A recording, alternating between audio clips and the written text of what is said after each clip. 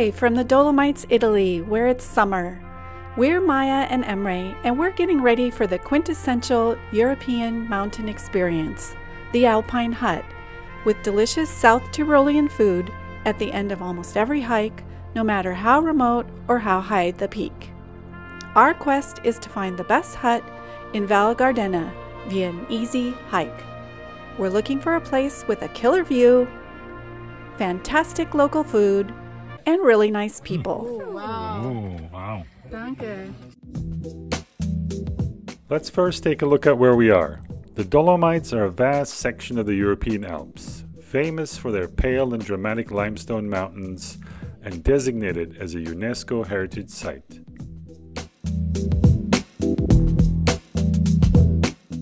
Our base is a house in Selva, the highest village in the steep valley called Val Gardena, about 45 minutes from Bolzano. After talking to the experts, the hunt will start in the meadow below Seceda Peak on the north side of the valley. So let's go! We're going to cut out the lower forest walk by taking the gondola up to the lower reaches of the meadow. And we can see already this is going to be an amazing day.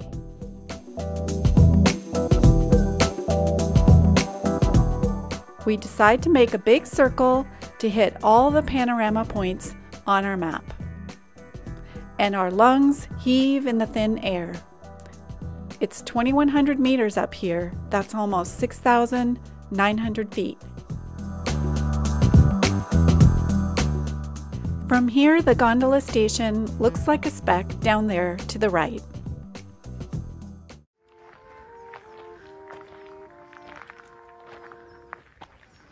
Wait up! What is that music?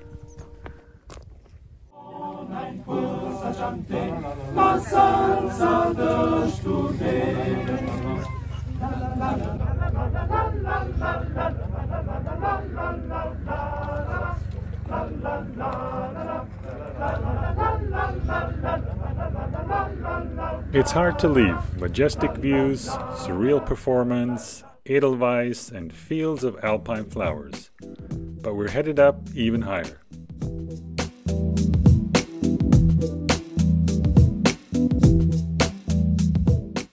This hut is really cute, but our destination is the Troyer hut just below us. The views there are supposed to be mind blowing, and they make all their own meats and cheeses.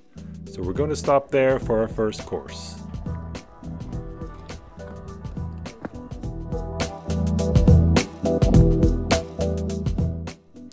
Out of breath and in total awe. Seven spectacular mountain groups surround us. What you're seeing on video hopefully looks amazing, but it just can't capture the real majesty of the view.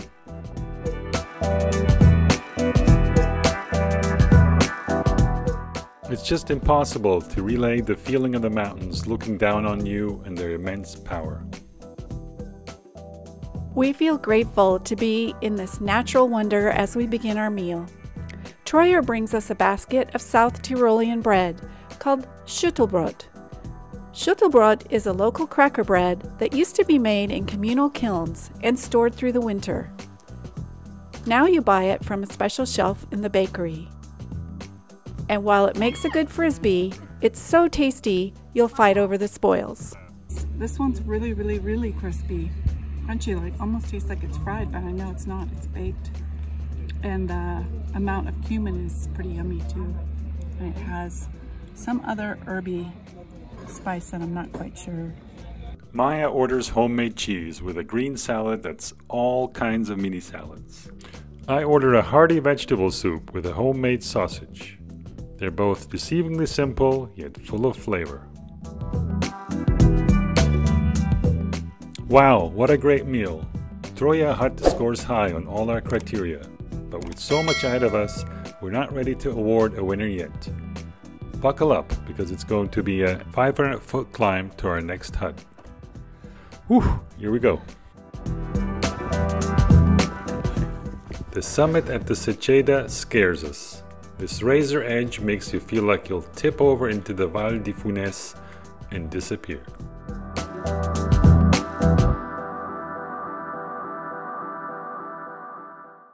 With the summit behind us, we're so ready for our main course at the Sophie Hut.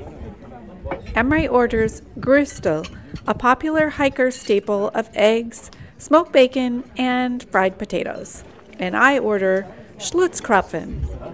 While we wait, the kitchen brings us a surprise. Surprising little freebie, a octopus salad. The kind I like it. But don't expect to see this in a landlocked mountainous place. This is a half moon ravioli stuffed with spinach and ricotta. And then on the outside, they drizzle butter and Parmesan cheese and chives. And then it all like oozes together and into the pasta. It's absolutely delicious. Yum. Very grappa. Let's see what it tastes like.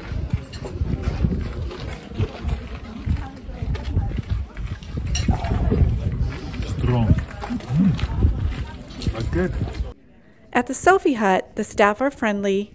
The octopus and my pasta were amazing. There's a killer table for eight on the edge and a really nice party vibe on the lawn. This fantastic place is still worth a visit, even if Emre's dish is a little bland and overcooked, and lots of people bike and walk in your view.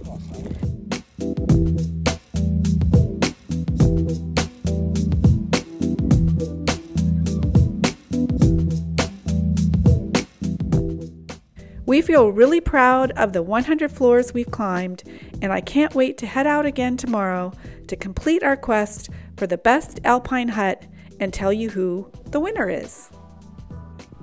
Thank you very much.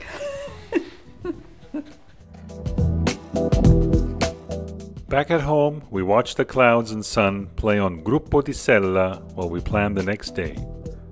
Tomorrow we will head to the other side of the valley to the Alpe di Siusi, or Seiser Alm, which is Europe's largest and most magnificent alpine meadow. And there we will check out three more huts. Can't wait! Yum yum yum!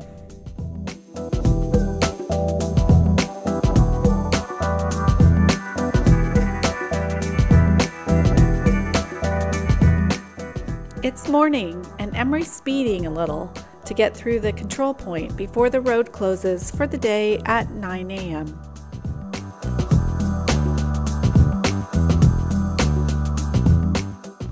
From the car park at Compatsch, we're heading up the meadow toward Punta di Oro.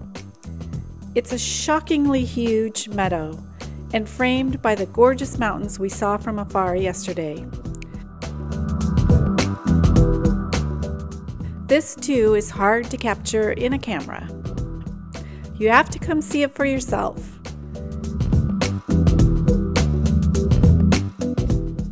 We spend far more time than we planned soaking up the amazing scenery until our stomachs complain that we're two hours late for lunch. We follow the signs to the Gostner Hut, where we'll have the first course of our progressive lunch the Hütte we're looking for.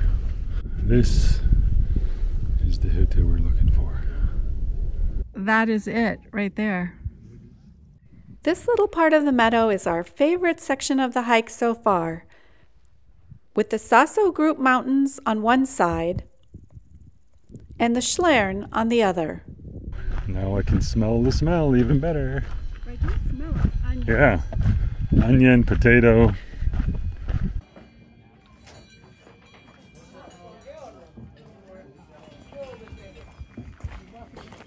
The menu is full of unexpected choices, and we take longer than usual to decide what to order. In the end, I choose the ravioli filled with roast suckling pig, topped with a butter and tomato sauce.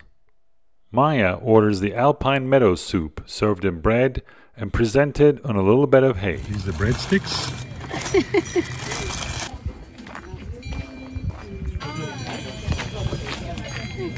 ravioli?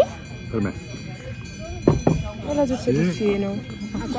So that was our first stop today at the Göstner Hütte, and I give it a thumbs up. I give it two thumbs up. Okay, two thumbs up. Both our meals were excellent. My ravioli was actually really, really good. It's surprising and presented very nicely with the flowers, and even the flowers tasted good. And mine was very fragrant and it had the surprise of the chowder like sopping up the bread. It was delicious and fragrant and beautifully presented. I think yours definitely wins the prize for most creative dish and presentation. Yes, definitely.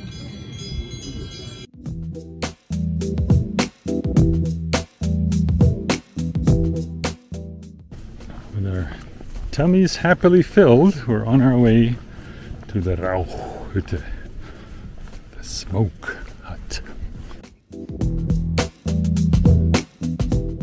But before we make it to the Rauchhütte, we stumble on another cute hut with panoramic views, the Tune hut. On a whim, we decide to stop here for an intermediate course and we order a traditional Speckknödel served on coleslaw. The staff here are super friendly. We love the rolling meadows spilling down from the hut and the 180 degree panorama views of the Sasso Mountains.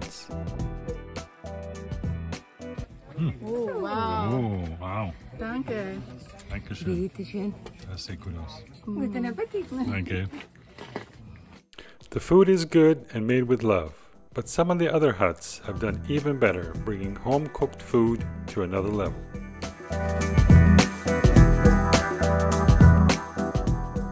And now we head downhill to the next and final hut of our quest, the Rausch Hut. The road for bikes and the bus stop make the hut very accessible even if you don't want to hike. What shall I eat? This hut is famous for its meats and polenta dishes. 50 50. I like them. What do you have there? Gnocchi made out of polenta. Very unusual.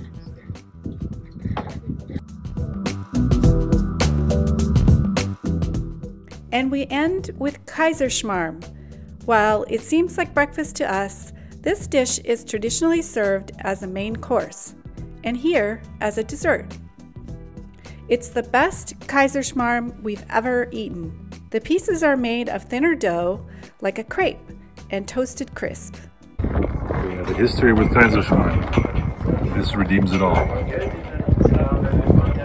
Mm. Good. The food here was great, the people were super friendly, and the view is lovely. But with the road right here, it doesn't quite feel like we're in a natural wonder.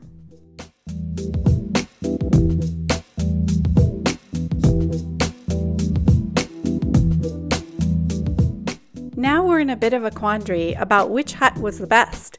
They're all great in their own ways. After long deliberations, here's our verdict. Guess what? We have a winner. The number one winner in Val Gardena for a mountain hut is Troita, right behind us. Troyer. but who cares? it's this Hütte right here. And the reason we liked it so much is that uh, the setting, for one, um, beautiful setting, great views, and uh, very friendly service. And our food was actually surprisingly good. Even my very simple vegetable soup um, was surprisingly full of flavor and uh, nuance that I really wasn't expecting. So I was really happy. And I ordered that. a salad, and I was just expecting some green leaves, and it was absolute beauty and really tasty. beautifully presented and uh, with lots of Variety, different cheeses and of course I had to steal a few bites too and uh, I would order that again too Yeah, their As well coleslaw was soup. really good. and they have maybe next time a Wiener Schnitzel that Yeah. on the menu and a couple other nice things so Yeah. we'll be back for sure we'll be back. Come with us next time. yeah